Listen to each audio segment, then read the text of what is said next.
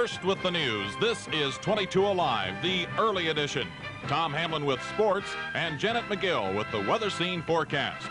Now, Marsha Bonhart and Carl Day.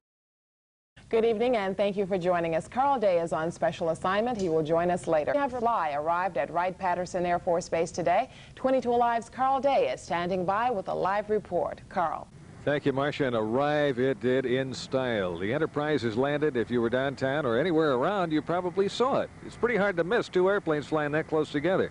And I have with us the mission team leader, who is Colonel Larry Griffin. And, and uh, Colonel, we were talking before we went on the air tonight. This is a little unusual for this aircraft to be out and available for the public to see it. Well, we selected this route very carefully, uh, and of course Dayton is a landmark in aviation history. We thought this would be a very appropriate place to, to stop. And also this will be our jump-off point to begin our journey to Europe. We'll be uh, proceeding from here to Goose Bay, Goose Bay to Keflavik in Iceland, then to England, then to Germany, and then to the Paris Air Show. We'll be there for about 10 days, and then we'll start back with a final out-of-country stop at Ottawa, in Ottawa, and then uh, back to Edwards Air Force Base. Yeah, we're watching some video that was shot earlier as you were coming in for a landing. Uh, one of the obvious questions is, is the aircraft any uh, stranger to handle with its extra load uh, on their, the, the size of the 747 is enormous anyway.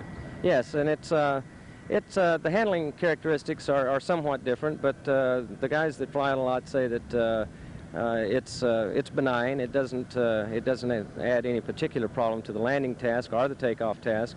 We're very careful not to fly the air, airplane in turbulence, but, uh, but other than that, we uh, have almost no limitations to it.